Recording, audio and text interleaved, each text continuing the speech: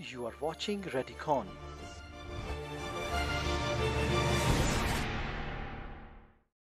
Let's look at C for conus or card. In the lumbar spine imaging, only lower part of the card or conus is seen. Pathologies in this region can be easily missed as more focus is always on the disc levels.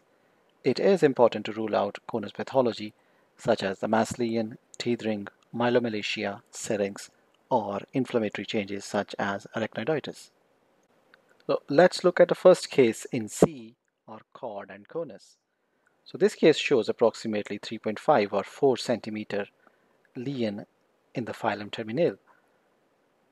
This lesion shows ISO to mild hyperintense signal on the left side which is T2 weighted images while on the extreme right you can show bright fatty signal. So that represents a lipoma of the filum terminale. Let's look at the second case. There is approximately 2 to 2.5 centimeter intramedullary lesion which is ISO to hypo-intense and shows avid contrast enhancement on the right-sided images. Apices are quite typical of a spinal ependymoma.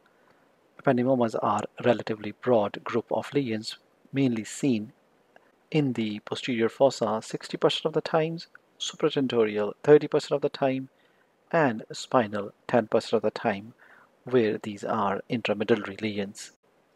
Let's look at this case using our ABCD template. Alignment appears satisfactory. There may be a mild spasm present. However, all in all, it appears with no significant findings.